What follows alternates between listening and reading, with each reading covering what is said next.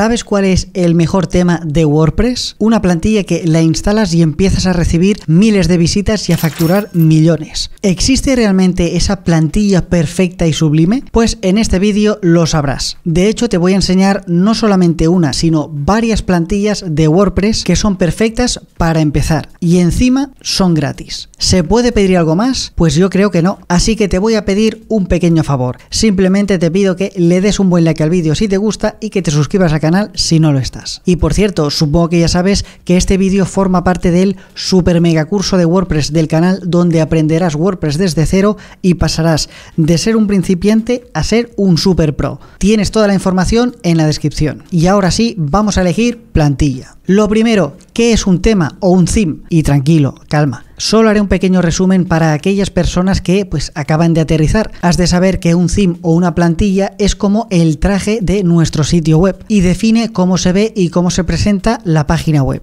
Es decir, se encarga del estilo y del diseño. Entonces, la gran pregunta, ¿cómo elegir un tema de WordPress? Porque veo mucha gente que utiliza unos temas de WordPress súper raros o utilizan plantillas que son una verdadera castaña. Y luego pues pasa lo que pasa, que si esto no funciona, que si esto se ve mal, que me ha explotado la página, luego todos son problemas. Así que para que no te pase a ti también, presta mucha atención con lo que te voy a decir a continuación. Lo primero que has de tener en cuenta a la hora de elegir un tema es que se ajuste a la finalidad de tu página web. Es decir, si nosotros queremos crear un blog, pues habrás de elegir un tema que se adapte a las necesidades de tu blog. Si nosotros, por el contrario, queremos crear una página informativa, deberemos elegir una página que se adapte a ello. Y lo mismo pasa con una tienda online, con un portfolio o con cualquier cualquier otra página específica. Otra cosa que es de tener en cuenta y que es muy importante es la optimización para dispositivos móviles. Hoy en día más de la mitad del tráfico que va a recibir tu página web es a través de dispositivos móviles. Por lo tanto, tu plantilla ha de ser completamente responsive y adaptable, es decir, que se vea bien en cualquier tipo de dispositivo, ya sea muy grande o muy pequeño. Esto lo puedes comprobar tú mismo en un ejemplo de la plantilla que vas a utilizar y si no también lo puedes ver a través de la consola del navegador. Puedes hacer la pantalla pequeña y ver cómo se ve la versión móvil de la plantilla. Otra cosa que es de tener en cuenta es el rendimiento y la velocidad. Has de elegir un tema que esté optimizado y sobre todo que cargue rápido. Esto es crucial no solo a nivel de SEO, sino también a nivel de experiencia de usuario. Por eso yo normalmente recomiendo que elijas un tema minimalista y que no tenga muchas florituras. Luego has de tener en cuenta las actualizaciones y el soporte. Esto es algo que no todo el mundo tiene en cuenta y es súper importante. Has de comprobar que tengan actualizaciones constantes, es decir, que haya un equipo detrás que vaya actualizando el tema. Aquí el truco es mirar la última actualización que ha tenido el tema. Si por ejemplo te gusta un tema pero ves que no se ha actualizado en los últimos 5 años, pues mal rollo, elige otro, porque no va a tener soporte. Otra cosa que has de tener en cuenta es que el tema que elijas sea SEO friendly. Esto es muy parecido con lo que hemos dicho antes, solo que en este caso has de comprobar que la plantilla pues esté optimizada, es decir, que tenga un código limpio, por ejemplo, que no incluya muchas funciones que no vas a utilizar, en definitiva que no contenga mucha paja y desde luego que no sea multipropósito. Esto normalmente para los usuarios más principiantes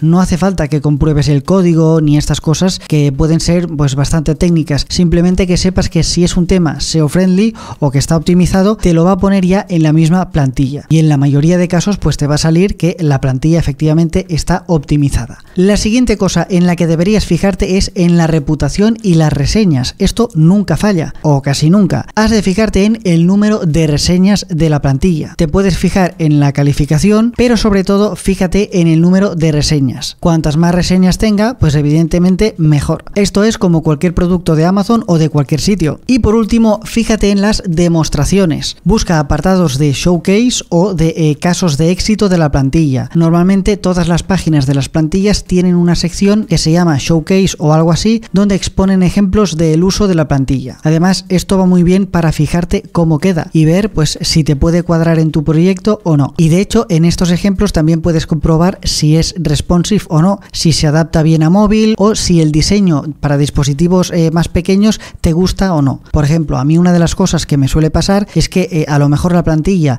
tiene un diseño de escritorio muy chulo, pero luego cuando ves su eh, versión responsive, pues a lo mejor el menú no te gusta o a lo mejor pues hay algo que no te cuadra. Entonces, nos sirve para ver pues las diferentes versiones de la plantilla también. Y ahora mismo estarás diciendo, vale David, todos estos consejos ya me los he apuntado, pero ¿qué tema debo elegir? La eterna duda. Pues te voy a recomendar varios temas y recomiendo varios temas porque es prácticamente imposible recomendar un solo tema. Como he dicho antes, depende de lo que necesites y depende de la página web que hagas, pues vas a necesitar un tipo de plantilla u otro. Y además has de saber que aparte del propósito de la plantilla, también hay plantillas que son orientadas más para principiantes y otras plantillas que son más pues para profesionales o para desarrolladores, ¿de acuerdo? O sea que esto también lo has de tener en cuenta. Por lo tanto, ahora solamente voy a recomendar plantillas que son orientadas para principiantes, ¿ok?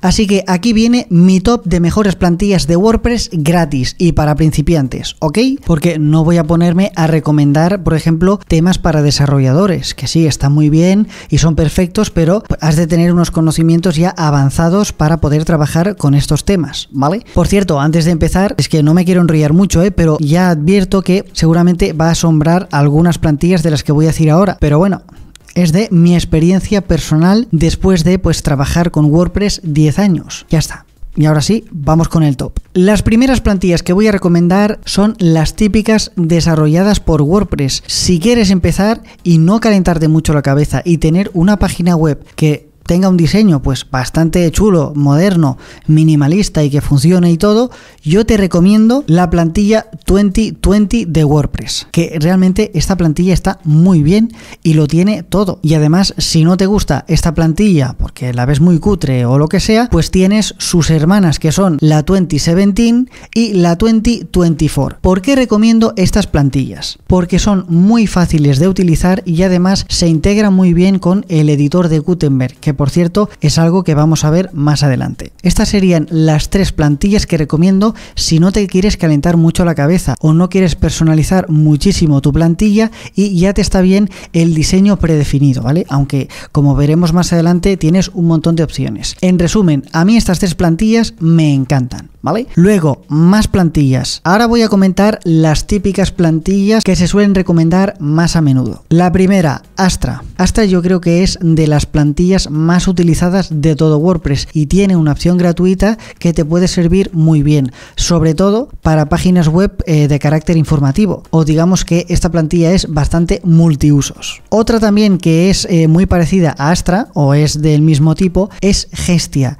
Gestia también está realmente muy bien. Yo la he utilizado en varios eh, proyectos y realmente es una plantilla muy simple pero que eh, está muy bien. Y además se integra muy bien con plugins como WooCommerce o también con plugins como Elementor. Realmente está muy bien. Otros temas similares pues serían eh, el de Sydney. Sydney también se utiliza bastante con el plugin de Elementor, pero puedes utilizarlo sin eh, ningún builder. Es una plantilla que está bastante bien optimizada y presenta un diseño simple, pero a mí me gusta. Es un diseño minimalista que eh, yo creo que puede encajar con la mayoría de páginas web informativas. Otro tema que también está muy bien es Ocean VP. Este tema realmente está muy bien, está optimizado, es liviano, funciona muy bien con cualquier plugin. Esta plantilla lo bueno que tiene es que es una plantilla multipropósito, es decir, es muy versátil. Puedes utilizarla, pues yo que sé, para un blog o para una página web informativa, por un portafolio, prácticamente para lo que tú quieras. Y realmente es bastante liviano liviana, o sea, tiene un diseño que es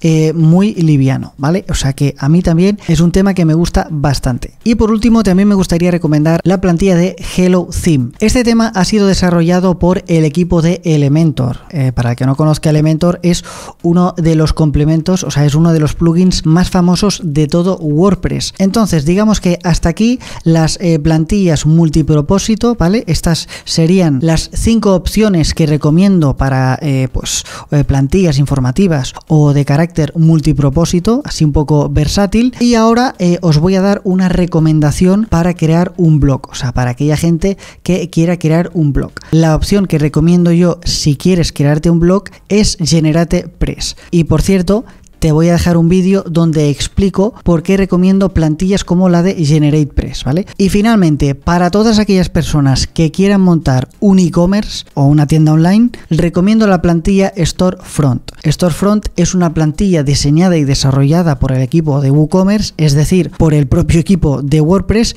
y que también es muy liviana y está eh, muy bien optimizada para tiendas online. Esto no significa que sea la mejor, pero si estás empezando, yo te recomiendo pues que utilices esta plantilla o una similar. Pues después de todo este pedazo de rollo, ¿qué tema vamos a utilizar como ejemplo para este curso?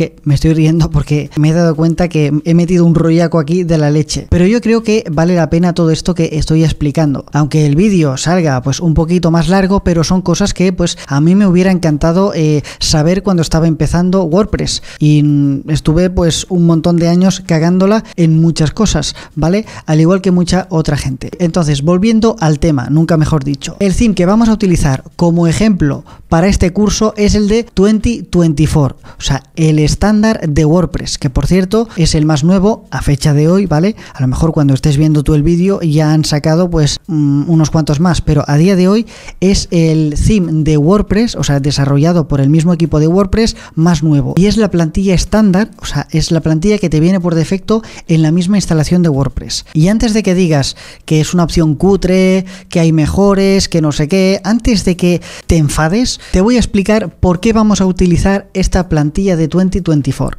Lo primero, es gratis, ¿vale? Si no fuera gratis, tendría un montón de gente en, en los comentarios insultándome y diciéndome de todo.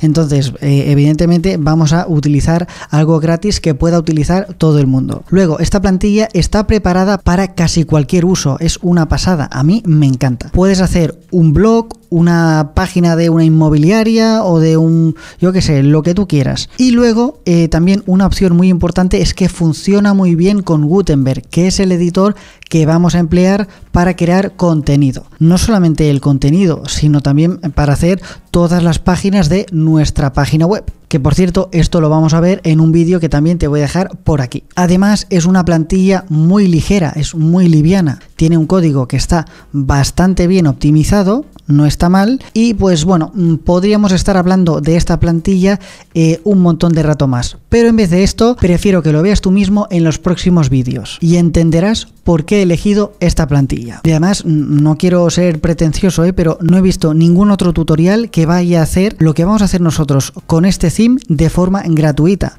Ya verás que mola mucho. Entonces, para acabar de una vez el vídeo, comentarte tres cosas súper importantes. Lo primero, si estás empezando, utiliza un tema gratuito. Si estás haciendo pruebas, no hace falta que te gastes pasta en un tema eh, de pago, que normalmente eh, tienes que pagar cada año, ¿vale? Así que, ojo. Lo segundo, y esto, eh, o sea, grábatelo en la cabeza, es muy importante elegir una plantilla que a ti te guste, porque de nada sirve elegir una plantilla que esté súper mega optimizada y realmente si a ti no te gusta, pues tarde o temprano te acabarás cansando y tendrás que volver a cambiar el tema, ¿vale? Así que es importante que además de todo lo que hemos comentado en este vídeo, que te guste a ti también. Y lo tercero es que puedes elegir el tema que tú quieras, porque el tema es algo que se puede ir cambiando. O sea, si no utilizas plugins muy raros o utilizas un sistema eh, builder o drag and drop, pues se puede cambiar con bastante facilidad. Así que hasta aquí el vídeo. Recuerda que si tienes cualquier duda o tienes eh, cualquier pregunta sobre temas, por favor déjamelo en los comentarios y yo te voy a responder personalmente. En el próximo vídeo toca hablar de plugins. Es un tema que es completamente Así que no te lo puedes perder por nada del mundo. Nos vemos en el próximo vídeo. Adiós.